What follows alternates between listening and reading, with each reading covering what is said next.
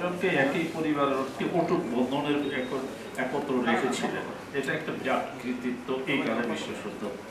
তো আমরা মরহুম আব্দুল খালেদ যেই কালে আওয়ামী লীগ করেছিলেন, এই দুঃসময় বলছি, সাঁতার দিয়ে অগ্রসর হয়েছেন। সেই সময়টা ছিল বর্তমানে বটে, দেবার মতো, পাওয়ার মতো কিছু ছিল না। হ্যাঁ দেবার পরও মানুষ একটা পাওয়ার জিনিস পেয়েছেন, সেটা মরম আব্দুল খালেকা পেয়েছেন। বঙ্গবন্ধু শেখ মুজিবুর রহমানও পেয়েছেন, সেটার নাম হচ্ছে জনগণের ভালোবাসা। তো আজকে আমি আমার বইটা বঙ্গবন্ধু শেখ মুজিবকে নিয়ে কিছু ঘটনা এবং রটনা প্রসঙ্গে। তো বইটা আপনাদের কাছে পৌঁছেনি আমি যখন এই বই লিখি, আমি মাঝে মাঝে বলি, আমি লিখি, কখন লিখি? খুব রেগে গেলে লিখি, সাধারণভাবে। যখন দেখা গেল যে আপনার জিয়াউর রহমান সাহেব বা পরবর্তী ক্ষমতাধারীরা ক্ষমতায় বসার পরে দেখা গেল বঙ্গবন্ধুকে দিয়ে মিনি খেলছেন রটনার মানে শেষ নেই। সেই মুহূর্ত থেকে আমি চিন্তা করেছি এবং ধীরে ধীরে কিছু লেখালেখি ডেভেলপ করেছি। আপনারা সবাই জানেন, আমি আসলে বাণিজ্যের ছাত্র। বাণিজ্য কমার্সের ছাত্র। কমার্সের ছাত্র তো এইসব করা কিন্তু যখন সত্যি রেগে গেলাম, তখন প্রচেষ্টা চালালাম সেই ভিত্তিতে আসলে বই দুটো।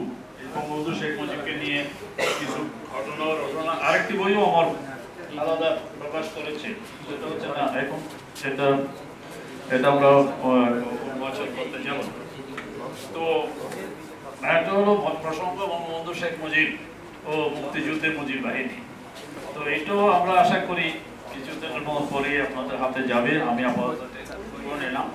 আমি এই বইটার উপর দুই একটা কথা বলতে যাচ্ছি ঘটনা এবং রটনা প্রসঙ্গে ডক্টর আব্দুল মজিদ প্রাসঙ্গিক হয়ে গেলেন।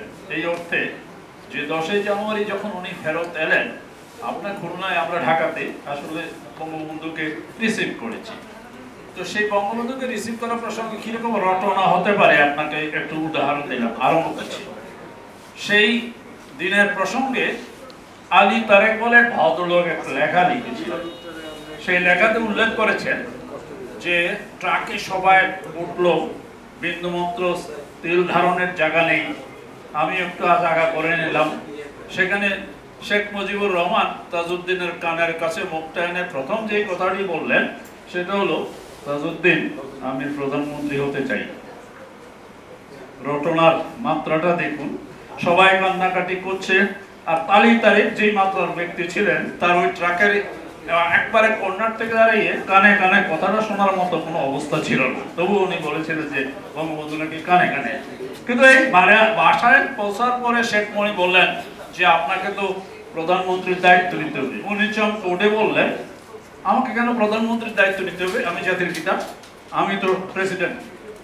আমি গণপ্রজাতন্ত্রী, বাংলাদেশ রাষ্ট্রের আমি রাষ্ট্রপতি।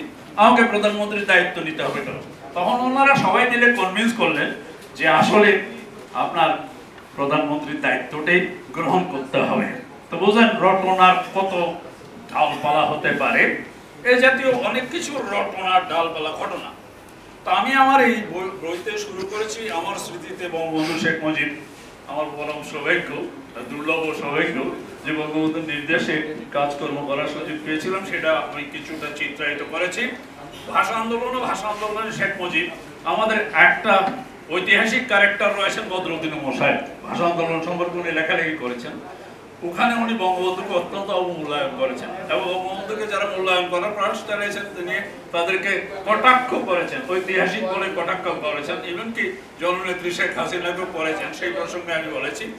তারপরে বঙ্গবন্ধুর ভাষায় সাতই জুন উনিশশো ছেষট্টি সাল, ছয় দফা দিবস এবং স্বাধীনতা চূড়ান্ত সিদ্ধান্তের দিন, এটা এই প্রসঙ্গটা এসেছে বঙ্গবন্ধুর সাত- সাতই মার্চের ভাষণ, একটা বিশ্লেষণ সেখানে এসেছে। স্বাধীনতার ঘোষণা কিছু মীমাংসিত বিষয়ে অহেতুক বিতর্ক। বাংলাদেশের উপদেশ বঙ্গবন্ধু শেখ মুজিব। বাংলাদেশের স্বাধীনতা সংগ্রাম মুক্তিযুদ্ধে ভারতের ভূমিকা, মুক্তিযুদ্ধ ঘিরে কিছু মিথ ও মিথ্যাচার। বঙ্গবন্ধুর স্বদেশ প্রত্যাবর্তন ও প্রাসঙ্গিক কথা মুক্তিযুদ্ধ পঁচিশ বছরের মৈত্রী চুক্তি এই নিয়ে কথাবার্তা হয়েছে, বিশেষ করে বিএনপি আমলে। আমি একবার প্রস্তাব করেছিলাম, এতই যেমন কথাবার্তা বলছে চুক্তিটা, তাহলে আপনারা প্রত্যাখ্যান করুন না কেন? না, এখন আর এটা প্রত্যাখ্যান করা যায় না। আসল কথাটা এখন বলা হয় যে, জবাব দিয়েছিল যে এটা এখন আর প্রত্যাখ্যান করা যায় না। অথচ এই মুক্তিযুদ্ধ এবং পঁচিশ বছরের মুক্তি চুক্তিটা, মৈত্রী চুক্তিটা আসলে ভারতের সাথে সোভিয়েত ইউনিয়নের বাংলাদেশের স্বার্থে ভারতের ভারত তার দল নিরপেক্ষতা, জোট নিরপেক্ষতা বর্জন করে সোভিয়েত ইউনিয়নের সাথে যে চুক্তিটা করেছিল, হুব হুব এই চুক্তিটা বাংলাদেশের সাথে করা হয়েছে। রাশিয়ার জায়গায় শুধুমাত্র বাংলাদেশ শব্দটা সংযোজন করা হয়েছে এবং আমাদের স্বার্থে সেটা করা হয়েছে অথচ এটা নিয়ে কি খেলা খেলা হয়েছে? আর এখন সময় পেলে যে খেলা চলে, এটা আপনারা দেখতে পাবেন।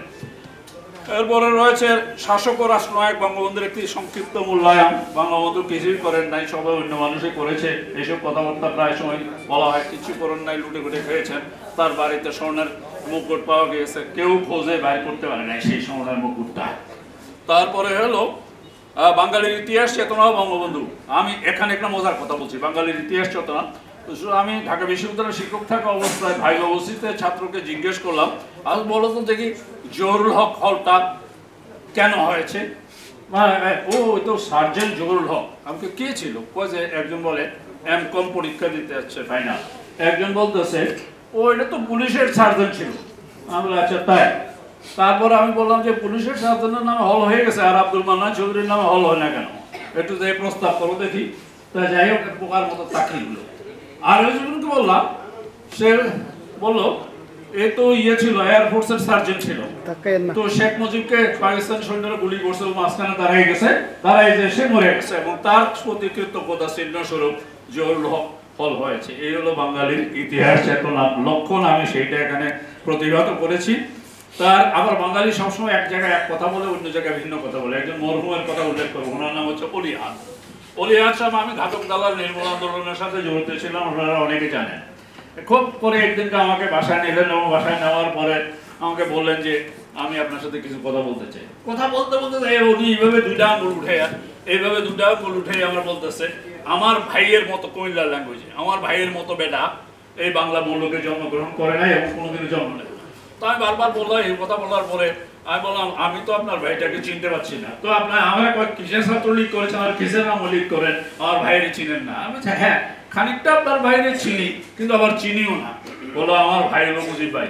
তো আমি বলি বইপত্রে কি লিখলে মাঠে ময়দানে কি বলে বলে, এগুলো হচ্ছে মাঠে ময়দানের কথা। বইপত্র প্রকাশ করতে হয় পাঠক আকর্ষিত করতে হয়।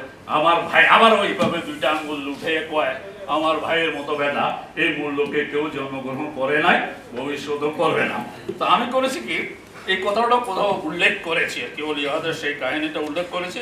ক্রমশ ভা আর দুই একটা আছে, যেমন বাদ, অপবাদের গ্যারাটবা বঙ্গবন্ধু শেখ মুজিবুর রহমান। শেখ মুজিবী বঙ্গবন্ধু তিনি জাতির পিতা। বঙ্গবন্ধু শেখ মুজিবকে নিয়ে বিরূপ সমালোচনা, এটা করেছিল আবার সামনে আমাদের তাজউদ্দিন সাহেবের কন্যা খুবই খারাপ সমালোচনা করেছেন। কিন্তু শেষ পর্যায়ে গিয়ে স্বীকার করতে বাধ্য হয়েছেন যে বঙ্গবন্ধু স্বাধীনতার ঘোষণা দিয়েছেন এবং বঙ্গবন্ধুই সব কিছু তারপরে জাতির বিতর্কে নতুন মাত্রা, কথা শেষ হয়ে হলো না শেষ। ওই অলি আহাদের সেই কুমিল্লার গ্রামীণ ভাষায়, আমার ভাইয়ের মতো বেটা, এই মূল্যকে জন্মগ্রহণ করে না, আর করব না। এইটাই বিবিসি তার জরিপের মাধ্যমে পেয়েছে। বঙ্গবন্ধু হচ্ছেন সর্বকালের সর্বশ্রেষ্ঠ বাঙালি। এবং